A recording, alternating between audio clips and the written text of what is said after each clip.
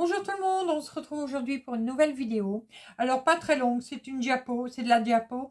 Euh, vous savez que j'ai mis en place euh, au 1er janvier le challenge du bocal des fils de lumière. Voilà, je devais vous faire cette vidéo avant, mais j'ai pas eu le temps. J'ai un, agenda de ministre. euh, donc j'ai pas pu vous faire avant.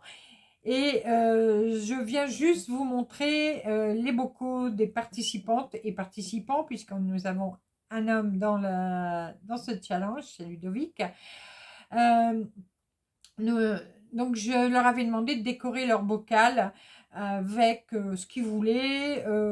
et donc, ce bocal, on va le tenir toute l'année pour y mettre nos déchets de broderie.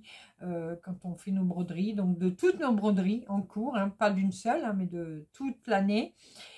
Et euh, chaque mois, je viendrai vous montrer euh, en, vidéo très rapide, pareil en diapo, où en sont nos brodeuses et brodeurs avec leur bocal. Alors aujourd'hui, c'est pour, juste pour vous montrer comment ils ont décoré leur bocaux, bocaux leur bocal, voilà. Il y en a plusieurs, mais ils en ont fait un chacun. Euh, voilà, c'est juste ça. Je ne sais plus parler. Je ne sais plus parler.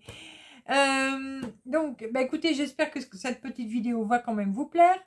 Euh, va peut-être vous donner des idées, pourquoi pas. Hein. Si vous n'avez pas encore fait un bocal, bah, allez-y, lancez-vous. Et nous, en attendant, ben, on se retrouve très rapidement pour de nouvelles vidéos, nouvelles aventures et plein de belles choses comme d'habitude. Je vous souhaite un bon visionnage et je vous fais plein de gros bisous. À bientôt. Bisous, bisous.